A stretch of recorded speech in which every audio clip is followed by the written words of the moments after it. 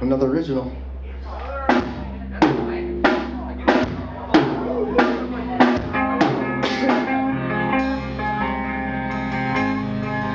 So it's called Star Straper. Raver, videotaper.